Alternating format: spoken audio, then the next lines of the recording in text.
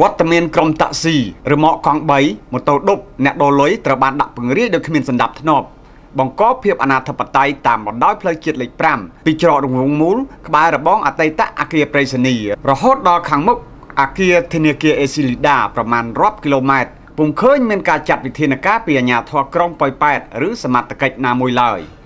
នេះបើតាមការលើកឡើងរបស់ក្រុមអ្នកទេសចរជាតិមួយក្រុមដែលបានធ្វើដំណើរឆ្លងកាត់តាមច្រកអន្តរជាតិមួយនេះ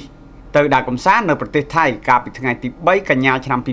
2013ក្រុមអ្នកទេសចរបានឲ្យដឹងថាពួកគេឃើញវត្តមានក្រុមតាក់ស៊ីឬមកកង់3ម៉ូតូឌុប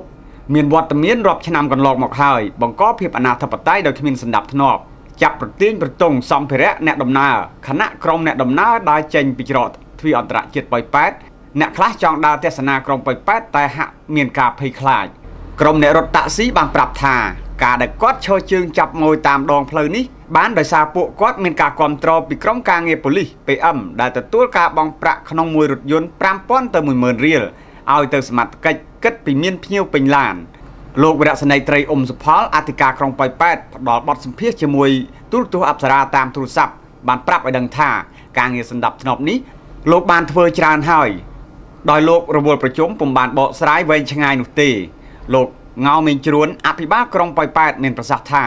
ក្រុងនឹងបើកកិច្ចប្រជុំនៅសប្តាហ៍ក្រោយរៀបចំគណៈកម្មាធិការចម្រុះរៀបចំសម្ដាប់ធ្នាប់ប្រមូលក្រុមតាក់ស៊ីនៅលើដងផ្លូវជាតិចូលក្នុងបេនតាមការណែនាំរបស់ឯកឧត្តមអភិបាលខេត្ត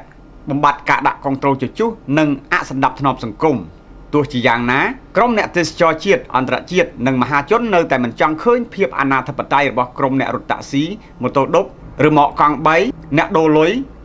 មានវត្តមានបន្សាំភ្នែកពួកគេដដែលដដែលនោះឡើយ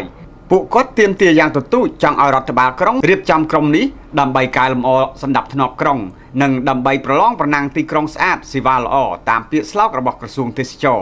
ខ្ញុំខិនគុនធាទូរទស្សន៍អប្សរាខេត្តបន្ទាយមានជ័យធ្វើសេចក្តីរាយការណ៍